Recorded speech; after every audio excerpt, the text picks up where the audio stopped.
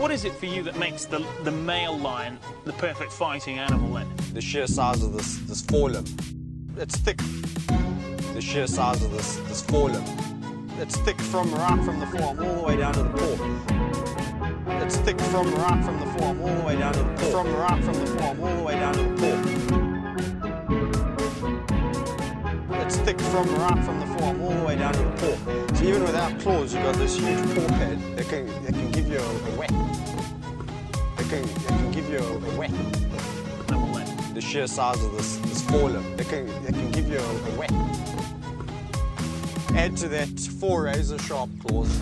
Hu- Add to that four razor sharp claws. Huge fangs. Two sonars as ears. Telescopic sights as eyes. Telescopic sights as eyes.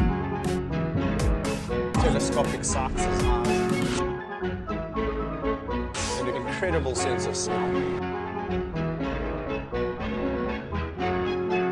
An incredible sense of smell. Telescopic sights as eyes. An incredible sense of smell. From right from the forearm all the way down to the paw. Huge fangs. Two huge fangs. Huge fangs.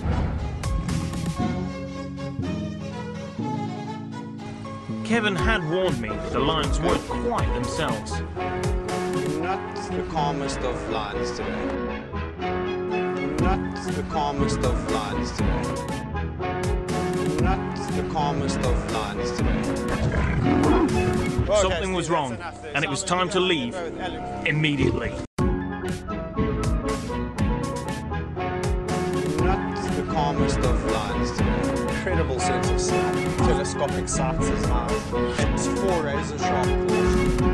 Huge. Sticks from right from the all the way down to the as ears.